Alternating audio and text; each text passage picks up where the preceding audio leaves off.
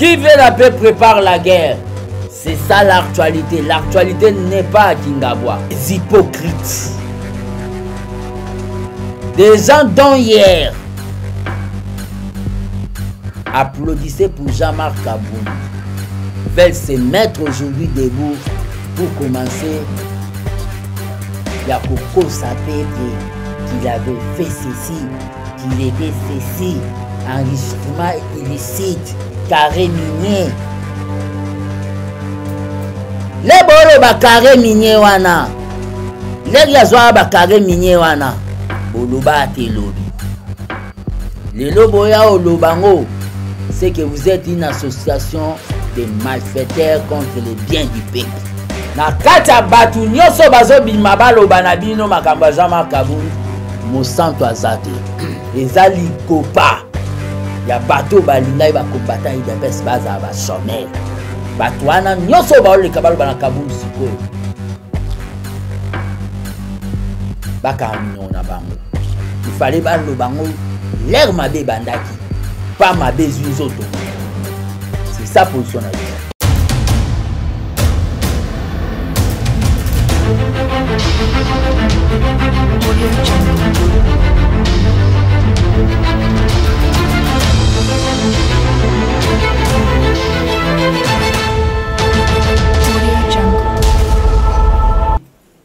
Sur la santé de l'IDPS, parti présidentiel, et d'autres questions d'actualité. Euh, communication, une petite communication à faire à l'opinion. Notre communication est zanine. Nathan Oyo,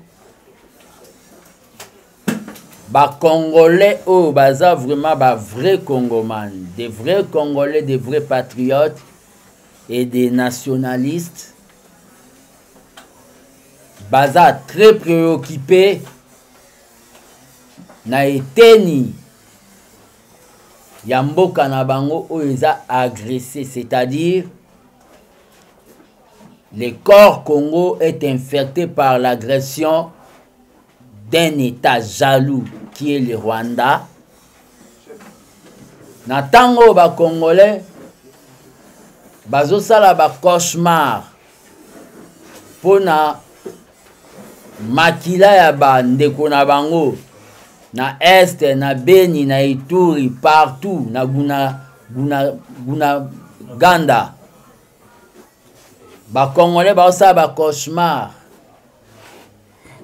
Les hommes politiques veulent venir distraire l'opinion, désorienter l'attention de l'opinion.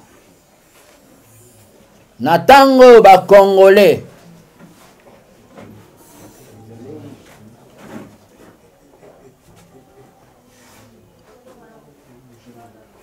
Il faut ba apporter appui na ba FARDC.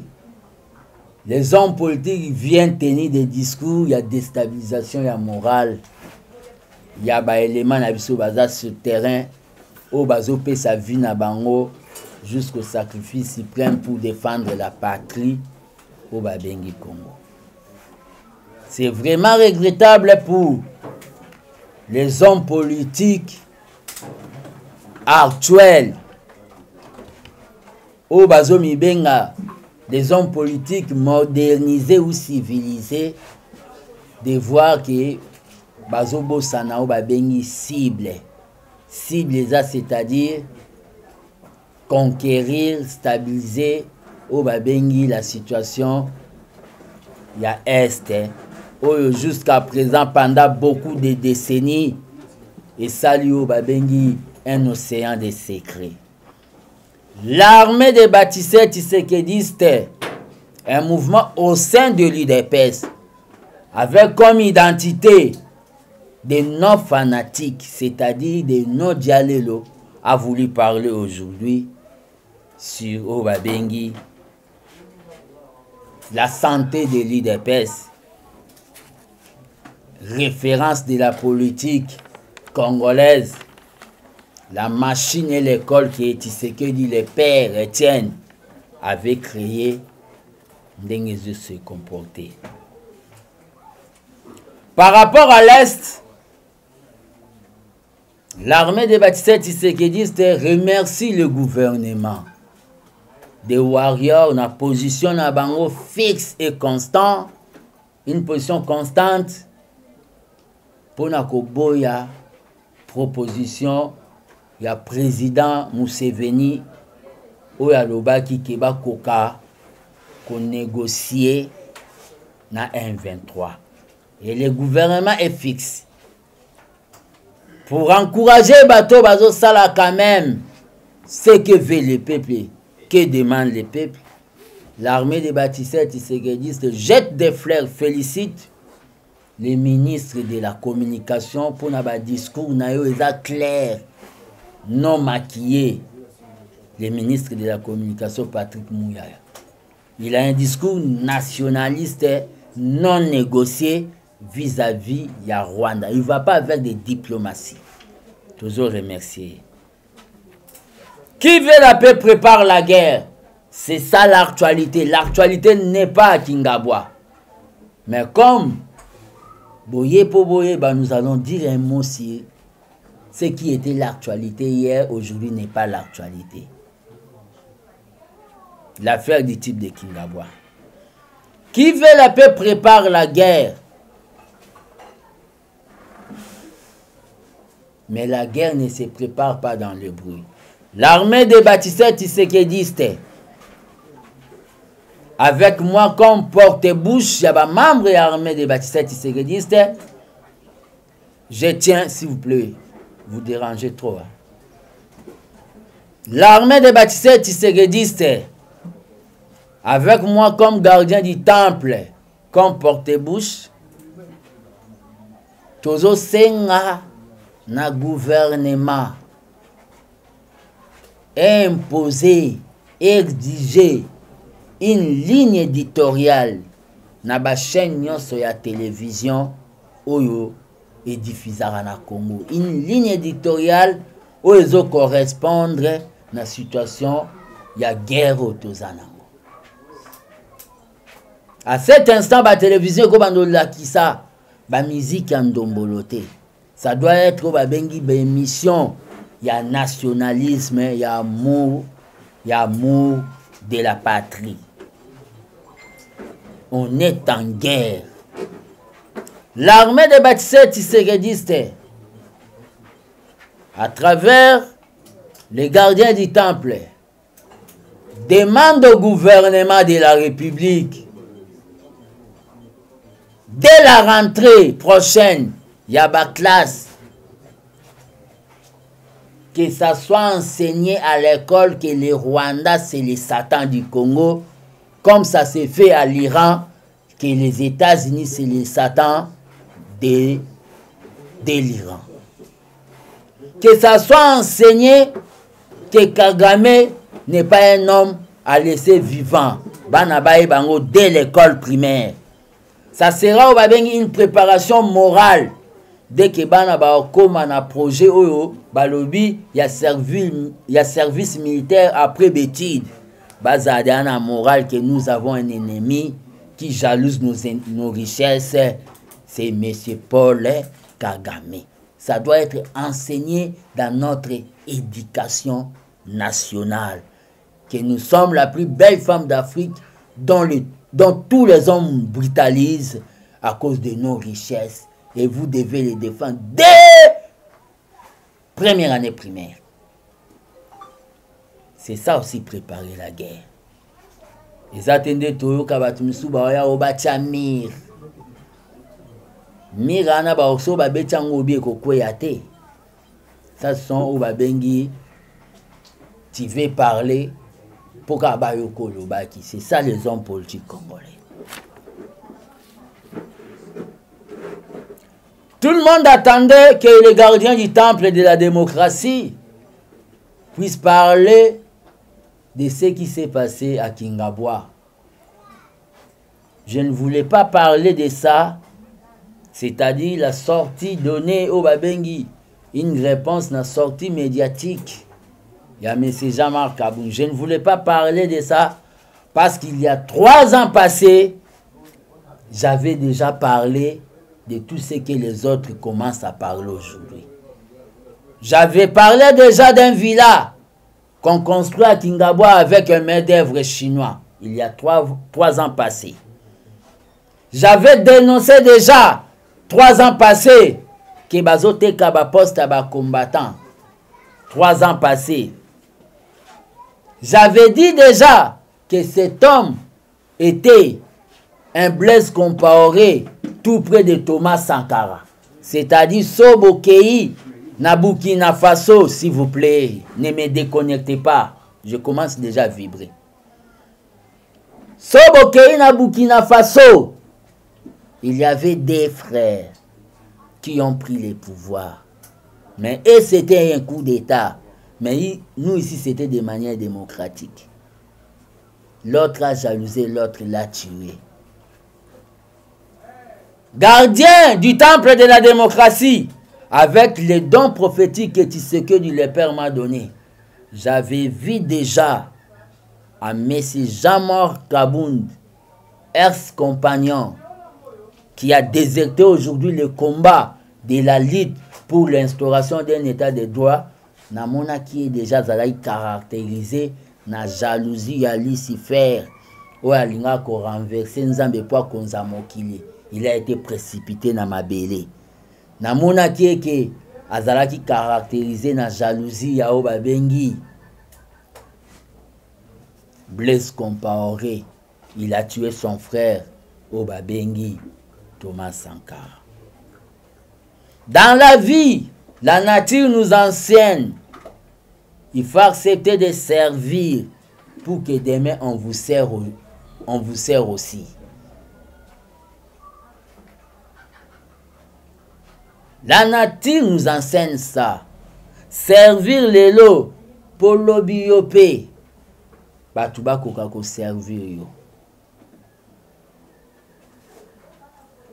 Jean-Marc Kabund a s'est démasqué. La page de Jean-Marc Kabund était déjà tournée. Était déjà déjà tournée. alingi nde azonga na actualité e des hypocrites des gens dont hier applaudissaient pour Jean-Marc Abound veulent se mettre aujourd'hui debout pour commencer ya kokosa peuple qu'il avait fait ceci qu'il était ceci, enregistrement illicite, carré minier. le bolo ba carré minier wana leki azwaka ba carré minier wana boloba te lobi lelo boya oloba ngo c'est que vous êtes une association des malfaiteurs contre les biens du peuple c'est ça la position du gardien du temple un homme responsable ne peut pas laisser un mal évoluer, même tuer ce qui est patrimoine comme l'IDPS, laisser ce mal tuer l'IDPS, laisser ce mal, laisser les combattants dans le chômage pendant au moins 4 ans, laisser ce mal Parce qu'il y a eu des problèmes. Aujourd'hui, vous venez ouvrir minoko na bino mpo bolobaki kabunde ceci kabunde cela kabunde peut bien aller créer son parti politique nous sommes des légalistes c'est conformément à l'article 5 dont tout citoyen peut créer son parti politique mais ce que kabunda fait Il est entré, il est, il, il est entré de chercher. Batia ye maboko bakanga ye mpo tofabriquer leader. Je demande au président de la République. Je le remercie d'abord. Je remercie le gouvernement nde badifusaki babétise na ye baliverne na ye oyo alobaki na kingabwa nde badifusaki yango nde balekisaki yango na rtnc Ça, ça, démontre notre sens démocratique et ça contredit ce que M. Jean-Marc Kabound a eu à dire na ndako ne oyo esalama avec un main d'œuvre chinois cinq cent vingt giga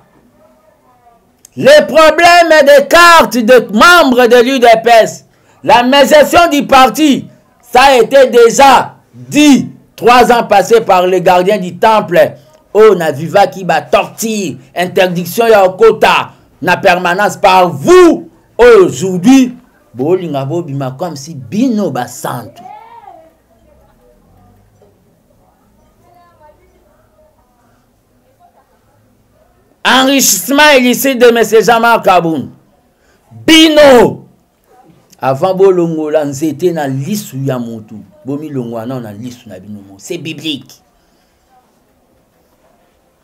baya na bakamera kashe epai na bino bakuta bino boza ndenge biso toza ndenge biso toza ka nde tozalaki na opposition na bino bato bolinga boloba wana vous savez manière oyo bosenrichir badiscours oyo bozotenir na limete wana c'est les faibles qui vous applaudissent mais les gens avertis bato baza ya mayele babenga bino association de malfaiteurs bopesi soni na tisekedi le père boza elo aloba te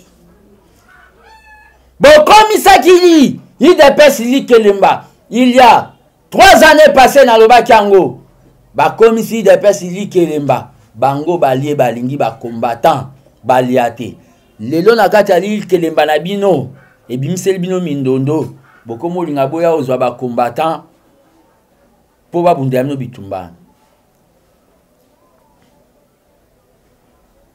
combattant oliaki te soki okodefendre udps defendre yango na ndenge na yo kozwa ordre moko te ya bato nyonso bakoma ba nouveau riche oyo bamonaki bino ke botikala na obongo bobetela bango maboko bango nde bacadre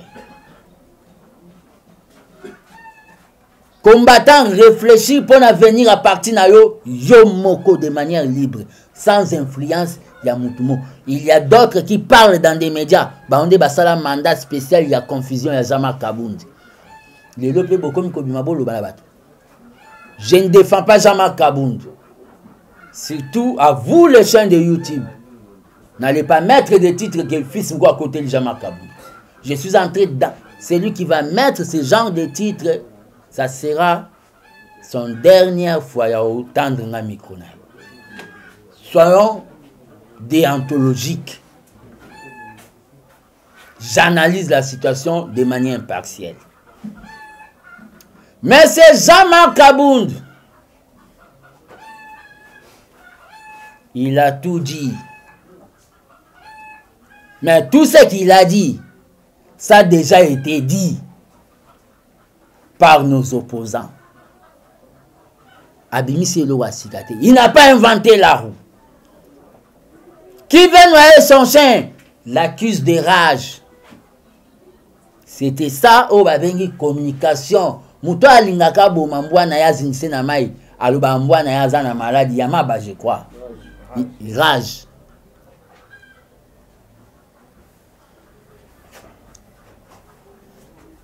Nous, nous avons eu le pouvoir de dire au président de la République que je respecte beaucoup, que Makambo Kende bien dans l'IDPS très tôt matin de notre pouvoir. Et Jean-Marc Kabound avait fermé sa bouche parce qu'il voulait devenir riche. L'air à Monisco à Tony, il vient dire que Ah, zala kaka na ka na bino ya ba nouveau riche tika biso babola kaka na ka na biso 2023 c'est bientôt l'opposition aujourd'hui tout le monde s'est dit de l'opposition oyo oh, bozomona bazo se déclare bakomi baopposant na régime na biso je regrette oyo effort ke bacombatant mosusu bamona yango mabe C'est ça qui était notre combat. Dans notre pouvoir, lié mon président de la République, nous devons avoir des contradicteurs. Nous devons avoir l'opposition. Mais il y a opposition et opposition. La vraie opposition ici au Congo, c'est le FCC. Entre guillemets, c'est le PPRD. parce qu'ils étaient au pouvoir biso toyebisi bango bolongwa na pouvoir tozwi pouvoir automatiquement dans un jeu démocratique il faut bakende na opposition c'est ça le cas même à brazzaville lipades de pascal lisuba au pouvoir balongwe na pouvoir pct ezwi pouvoir automatiquement ipades ya pascal lisuba bakenda na opposition mpe baza na opposition Même cas avec MCDDI, il y a Bernard Kolela na Brazzaville. Mais les oppositions oyo tokomi komona ya Nouveau Testament,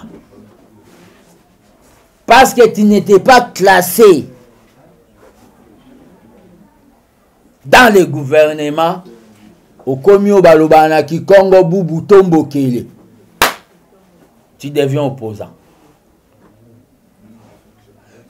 les oppositions tozomona tel que le cas ya jamal kabund opposition basée sur la jalousie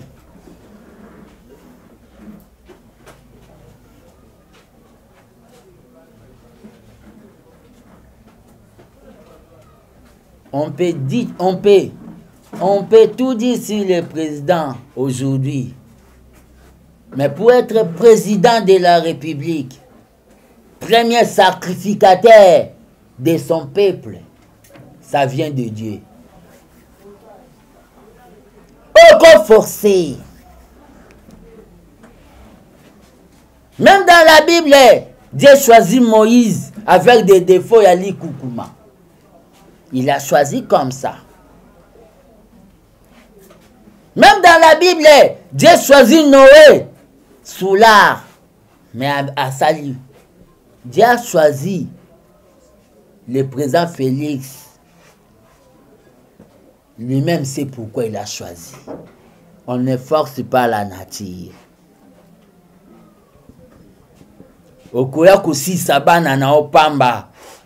pesa mwana liboso mpo okoma président okesi pesa mwana mibale mpo okoma président pesa mwana misato osisi bana nta botika ye na mwasi na ndako bozanga bana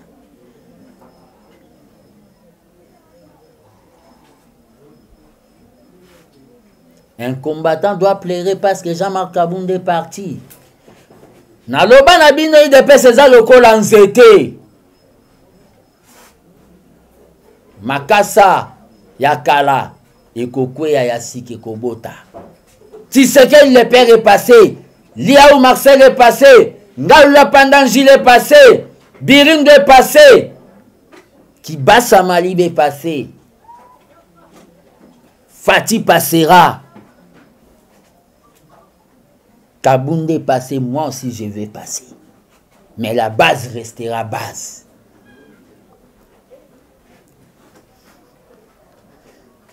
C'est regrettable pour un monsieur comme Jamal Kabound. Où a personnalisé combat ya yi dépêche que zaïe. Pour nanga gardien du temple, victoire ya présent Félix. eza ya ba combattant ya udps oyo batelemaki debout mpe eza ya peuple congolais oyo ase presentaki na irne alobi ke tolembi misère la plus noire eza ya un individu te voilà l'égoïsme d'un homme politique Voilà l'égoïsme d'un homme politique. C'est-à-dire, la page de M. Jean-Marc Kabound est déjà tournée. Voyons maintenant comment nous devons organiser l'IDPS. Voyons maintenant comment nous devons organiser l'IDPS.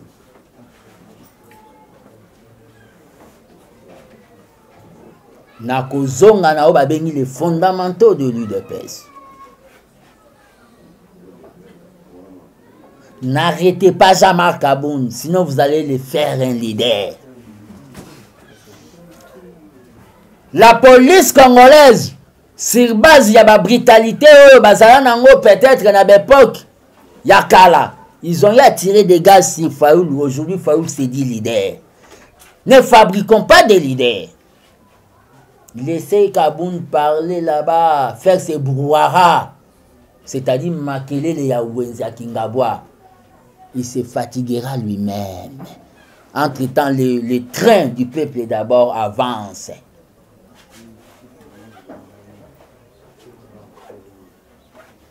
Voilà les goûts du pouvoir. Si, si. Filmez-moi. naloba na bino te nga vwa mokolo boye na mati vwa na, na, na, na cheval gube watemiana aloba voilà le, le goût du pouvoir ye mpe alobi si si filme moi gube wazongiseli on va balancer ça dans les réseaux sociaux wana personnalité politique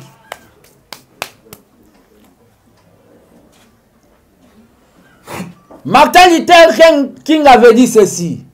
Il est complice quelqu'un ou un peuple qui laisse un mal évoluer.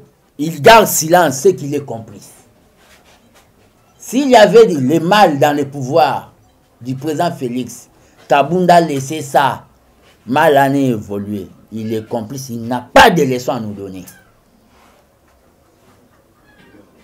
Il n'a pas de leçon à nous donner.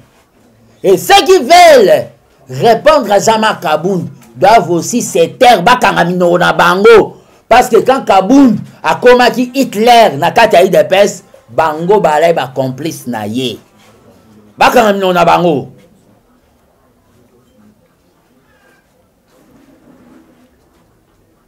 tout ce que kabund a dit eza oyo babengi offense au chef de l'état eza outrage il y a des gens qui ont quitté baparti politique na bango bavital kamere boyoka bango bafinga kabila ndenge kabund afingi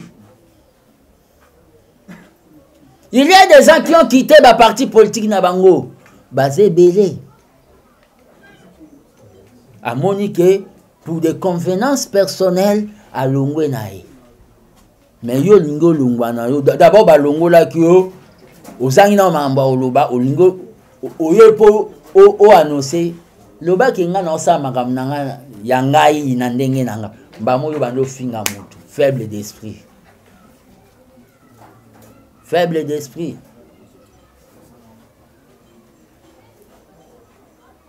tokita na deba ya kabundi te o oh, boye boye boye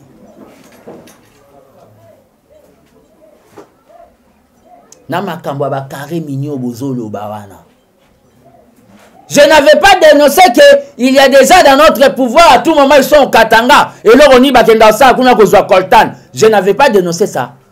Vous m'avez tabassé à limiter là-bas non Aujourd'hui boya oloba na peuple azo zanga lipa. Azo defa lipa na tongo qu'il y a des gens qui se partagent des carrés miniers. Ya ba papa na bino.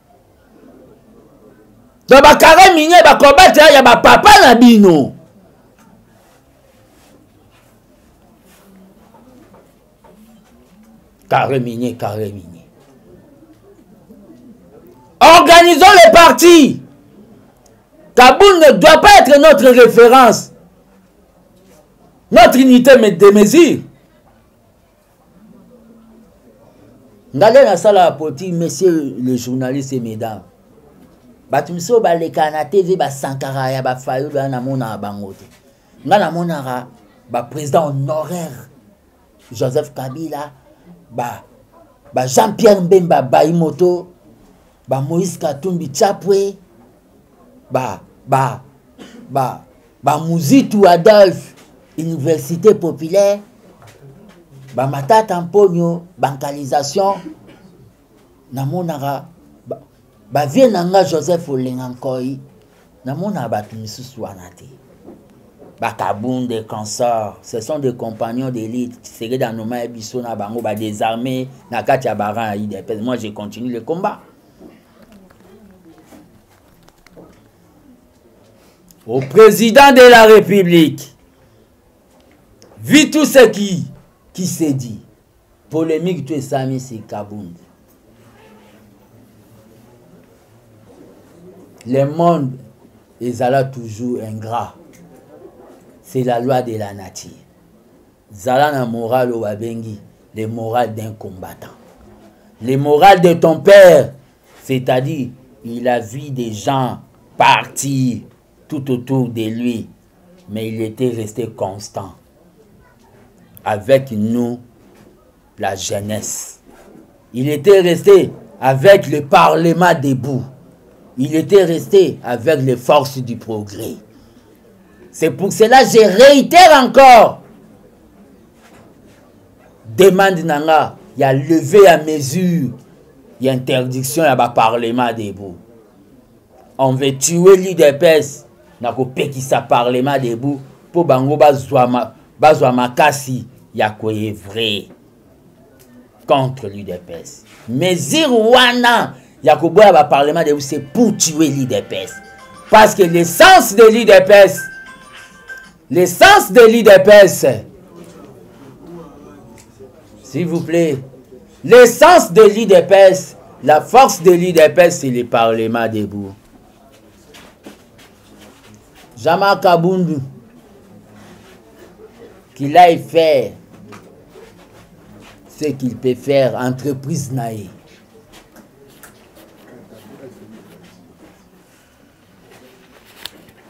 Message à tous les combattants.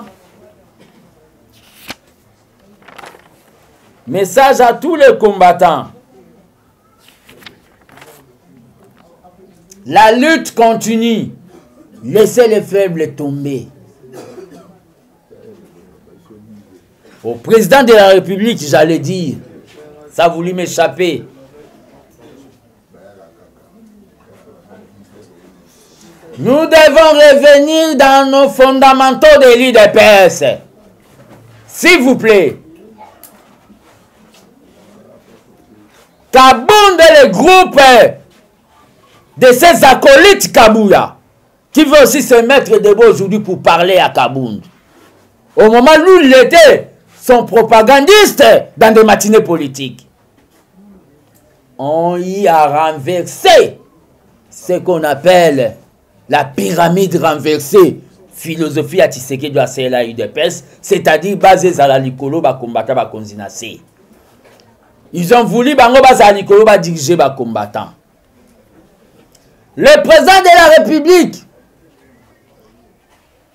doit avoir des oreilles oreille moko ezoyoka base oreille moko ezoyoka bacadre président de la république vous avez eu à écouter trop les cadres biso bacombattant koyoka biso ezalaki bacadre batiela biso barrière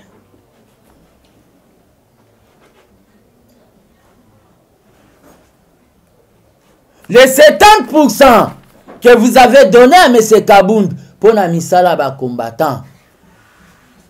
GI a révélé que Baote Kango il y a beaucoup de temps.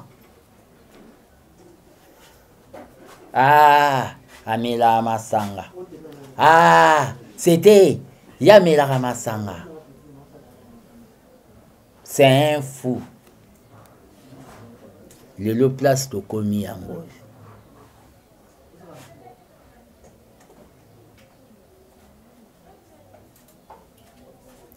zonga na oyo babengi pyramide renverse kanisa nzembo oyo toyembelaki yo yoka base yoka base nde toyebisaki yo na genève retire signature mpo retire signature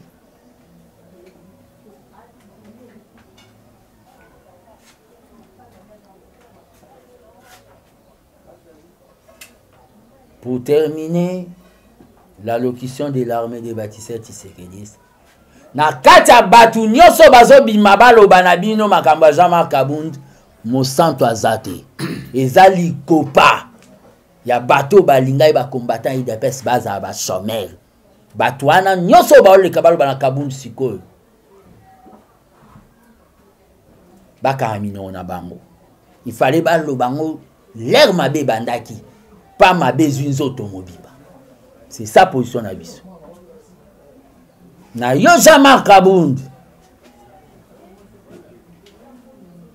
ata osali baprovocation ata oke na voi ya bamarshe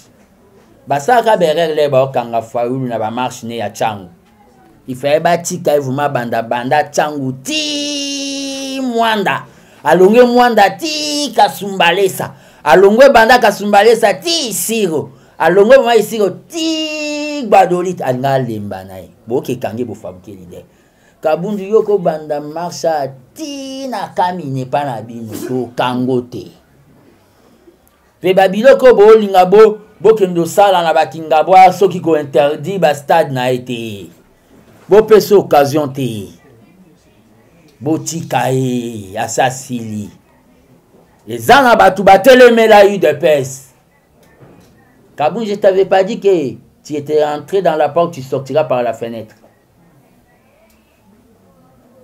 eza na bato batelemela udps wa belgique atika na lingange moko boye ya bapere mwa baluba kuna na gigini baliaka mbwa o oh, pdps ndenge moko yo mpe kabundi otikaka kaka na lingange moko ya bato moko ya kale so kamina bolia ndakala na bitoyo kuna ya kingabwa idps c'est tout un esprit Les hommes passent, mais l'idéal et la base restent. J'ai dit, je vous remercie. Merci beaucoup, Président. Qui ne va pas entre gardien du temple et, Monsieur le professeur Paul Chilum. Il n'y a rien du tout. Ce qui ne va pas, c'est toujours au babengi comportement net Y a Jean-Marc Kaboun. Il y a qu'au prendre les présents en otage. kodiaboliser bacombattant, que se faire saint. Je vais vous dire quelque chose. C'est pas la première fois que les gens tirent des balles sur fils, fils Mouko. Mais malheureusement, Babal Angwe Simbate, parce que Nazan anti-balle, Moro politique, Tisegel le père à l'Atsama. Et je suis dans la cause juste. Il y a eu des gens qui ont tiré, ils sont allés acheter sim moko en Afrique du Sud ah. pour m'appeler na sim wana me piéger que j'étais en conversation avec Massao. Mais on a mené des enquêtes un jour, tout le monde a un certain Tibwa Bomonda Yamba na sim wana ah, na Congo. coup d'épée dans l'eau il y a eu des gens mpo baparalyse fils moko vis-à-vis ya pui oyo abandaki kozwa na niveau ya, ya, ya diaspora bakoma article balobi ke fils moko banome na logistique na présidence de la république yoka article ke nakoti na biro nalali président akoti aye abeti ngai boye qu'est ce qui ne va pas fils mko ah président mosala oyo opesi ngai nakokoka na ngai baordinatere oyo te nazonga na ngai na sanze te objectif na bango yalea nini bato bakoyoka bayoka mwa mike mike baaide nazwaka nazwa te nakoma de plus en plus misérable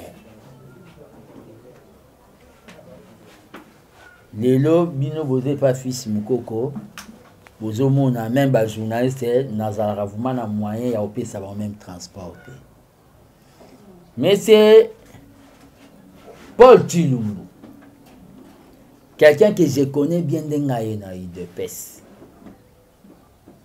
un jour abenga ngai alobi na nga ke fils mokoko mona nga na ndako na mwasi nolata bien kokoma tokomi abi première dame aza na besoin ya kosola na yo me nde tokende kosenga ye mbongo te senga ye mosala osalaka c'est-à-dire ya communication bamateriel ya chaîne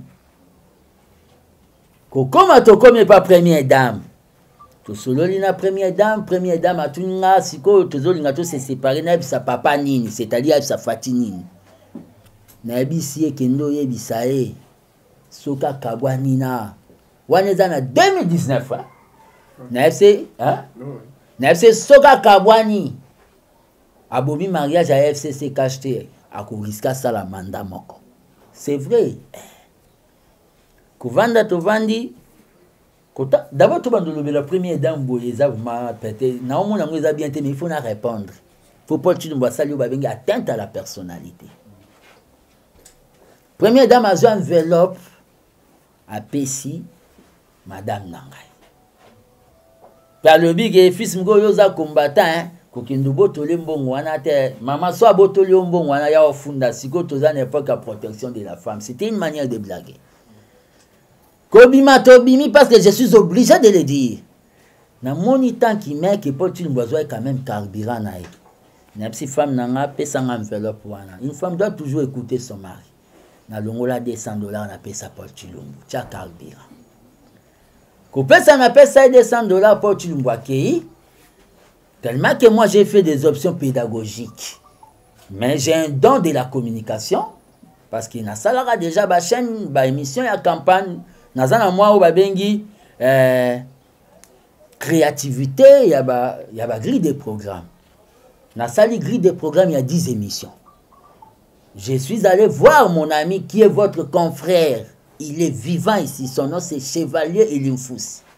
akomi na organe nemo baobab news namoni ye parce qu'il avait distingué na campus na communication avec 7 ans euh, donc tokoyo ba 75 75 mon ami aconcevoir mpo na ngai oyo babengaka ligne éditoriale ya chaîne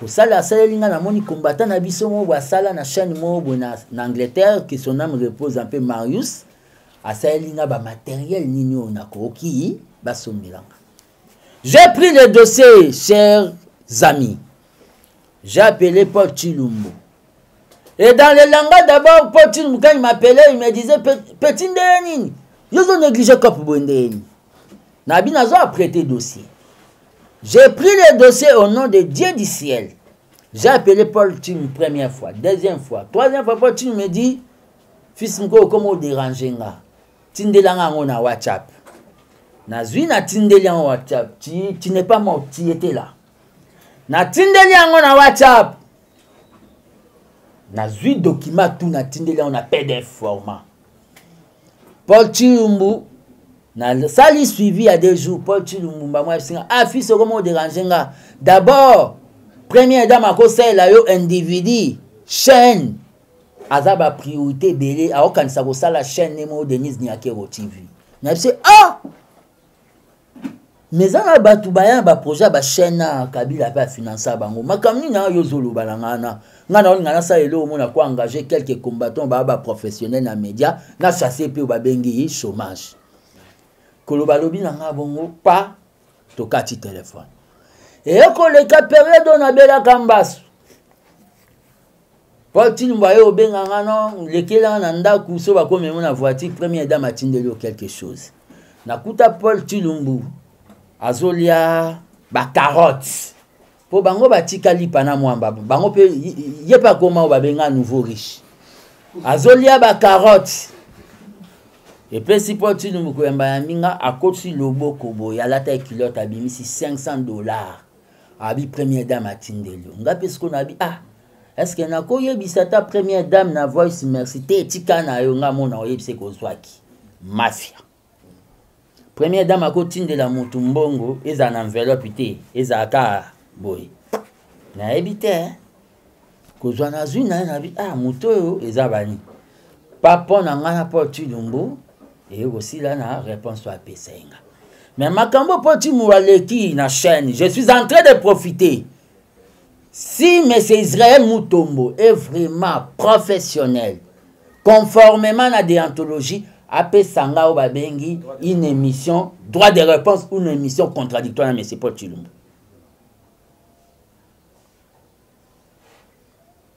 si monsieur israel est professionnel et quand il me passé je ne sais pas edo ya maman olive pourquoi ça met les gens mal à l'aise c'est de l'humanité tout simplement bato balingaki bakata nga lokolo to nini je ne crois pas même maman denise comme première dame akoki koyoka yango mabe akoremercie kutu ndeko na ye mama na acte oyo asali peut-être ye azalaki empêche mais pourquoi bato mosusu baolinga babima comme si sami mama denise mal à l'aise j'ai des voices de collaborateurs de paul tilumbu oyo baoloba il a fali kaka aloba bon je vais vous donner des voices oyo bacolaborateur ya potin baoloba tya na se il a fali kaka aloba botala kaka mama olive ayedaki yo eza neti bakotisaki mama denise bi pourquoi nous devons baser notre pouvoir si base à mensonge et un professeur d'université c'est-à-dire me makambo atangisa bana ya baparacetamol parce que c'est un professeur oyo oh, balobi un professeur na, na pharmacie so chimie me makambo asalisa bana kotangisa bana ya kosala bapermanganate na baparacetamol akosaka bango baformule un député de la temps qui vient dire que nga na panzana na mwasi na nga vous n'avez pas vu ba image ya nga na mwasi na nga lere na obima na hôpital pourquoi contredire pourquoi dire des sottises eza mpo batyela bango sani ya mbele na biloko ya mayonnaise na cité de loya to nini vous m'avez déjà beaucoup bloqué au niveau de la pres du président de la république vous continuez encore me bloquer au moment où nous devons nous unir pour voir comment nous pouvons relancer idps dans un bel élan ya amour c'est ça paul chilum mama olive m'a aidé lobo ozala satan mpo mona aide na ye eza mabe C'était de l'inattendu, j'étais dans le désespoir.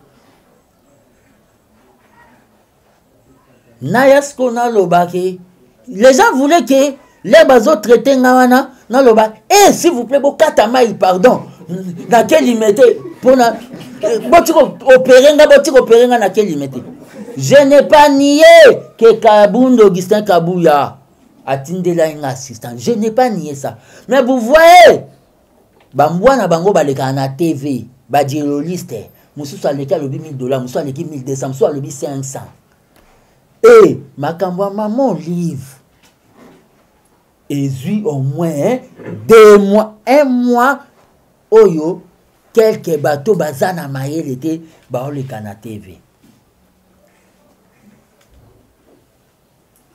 là où mama denise aidaka mama olive mpe aidaka kuna te eza ndenge moko mpe mama denise mama olive aye koyede nga yango nde nga nakoya kobima boye nayini mama na nga mama denise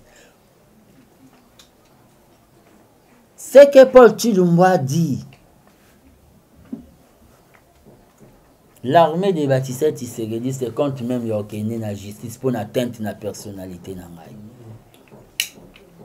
Paul Tshilumbu est en train de me dire que nakabwana na mwasi na nga.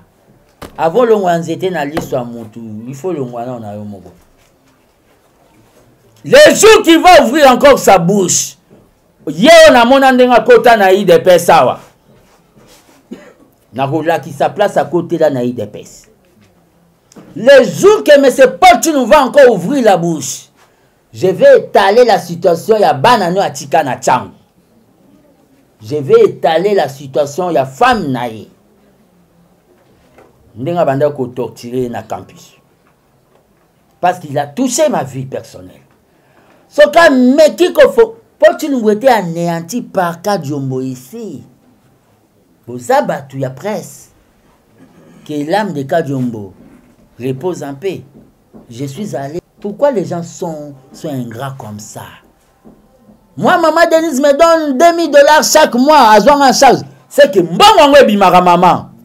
Mpo tini moto azwa yango. So na calcule depuis 2019 ti lelo ekwalesala ba 40 000 dollars ba 42 000 dollars. Paul Chilimbu faut pesa nga mbongo wana. Pe maka mama mbongo wana apart oyo pesa mwasi na nga nazwa mbongo te. Nazwa mbongo te tuna bato balakisa yo bisika na banda kosigne perception mpo chilimbu bima lakisa signature na nga fils mokoko na kaye ya perception ya 2000 dollar 2000 dollar eza mbongo moke te place na bandaki kosigne ke je perci lakisa yango tima comme tu respire toi tu veux jouer avec le gardien que votre kabuna papi mpo tinubu toi tiyeki toi le père t'avait nommé vous avez négocié des nominations après le congrès moi le père m'a nommé Le Père m'a pris dans le Parlement de Toi, tu viens d'où lakisanga ata prison moko yo okota parce que un, un combattant on le reconnaît na ba na ba parcours okolakisanga ata prison moko okota au lieu d'aller faire na vacances parlementaire oyo babe bo entretenir base na bino na restitution vous êtes dans des chaînes de télévision mpona un député un honorable dialoliste bokanisi ke kabund lokola ke siko boyebi ke c'est ça maintenant notre temps d'être euh, autour du président mpo todiabolisaka bacombattant c'est pour cela ogi, ogi kalonji na ti balabala baleki yo na chama si moi je parle de ta vie comme tu as parlé de ma vie à la télé mpo tilumbu les mamans de tiangu vont te voter à ce que tu as fait à ta femme naza na ngai na mbongo te me naza na parole mpe puissance ya parole oyo oyo ekosilisa oyo neti mungwa na kati ya nzungu ama famille ya, ma, ya madesu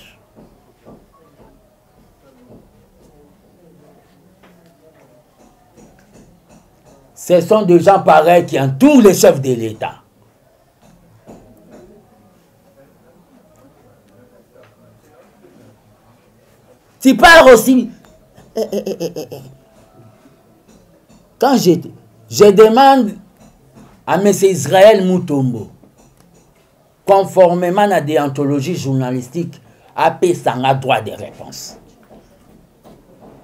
Parce que c'est toujours dans sa chaîne que je n'ai plus. C'est toujours dans sa chaîne nde bato baleki nde kabuya alekaki alobi nde, nde bato bazoleka balobi laisse maman olive faire azomema mpe pierre ne na social ya bacongolais le président a besoin ya baarte wana